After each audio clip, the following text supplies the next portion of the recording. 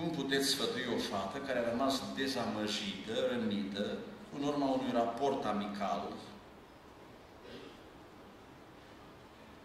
cu un băiat ce a tratat-o ca pe o soră, în timp ce fata a pus inimă și sentimente, tot mai multe victime de genul acesta. Cum ar trebui să se poarte un băiat în cazul acesta? Problema e relativă. S-ar putea să fi fost un băiat care s-o fi tratat ca o soră în Domnul și fata să fi crezut că prin aceasta băiatul a făcut referiri la o potențială relație de căsătorie. În situația aceasta este de vină fata că a fost, în cel mai bun caz, nepricepută. Și cu asta vă spun, fetelor, până când un băiat nu e în stare,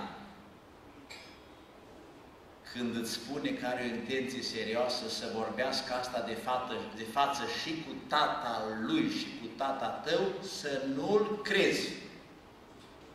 Să-i spui așa, dacă e drept ce spui, martor, tată tău și tată.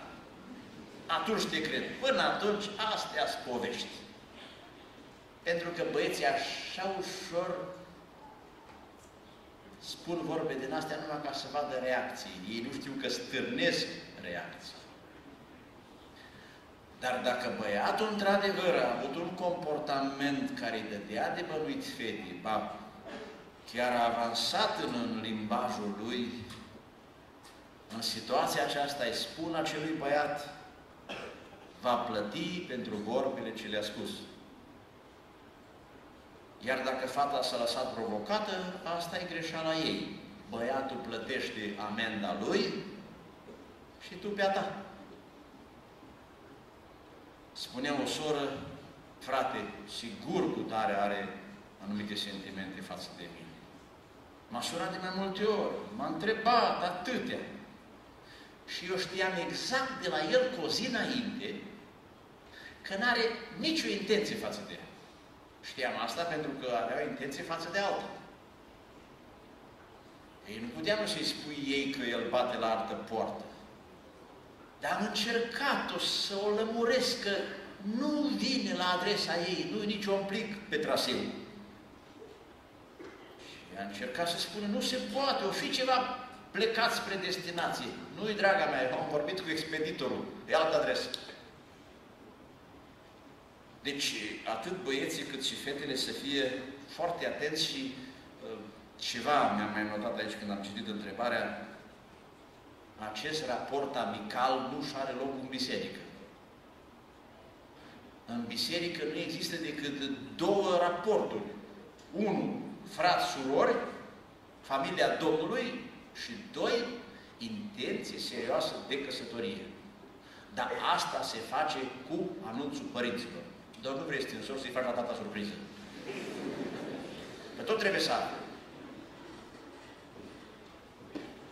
Deci o adevărată intenție se comunică.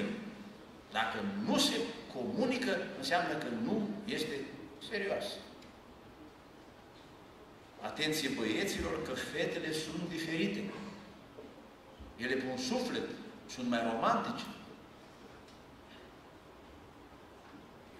Și dacă a fost o intenție serioasă, dar nu toate lucrurile concură la realizarea unei căsătorii, în acest caz, retragerea trebuie să fie așa cum și-a propus Iosif să o lase pe Maria, fără să o facă de ocară, fără să o jignească, cu demnitate.